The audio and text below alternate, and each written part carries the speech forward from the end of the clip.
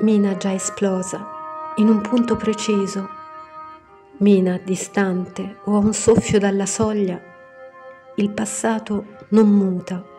nello scoppio avvenuto in cui accade la vita,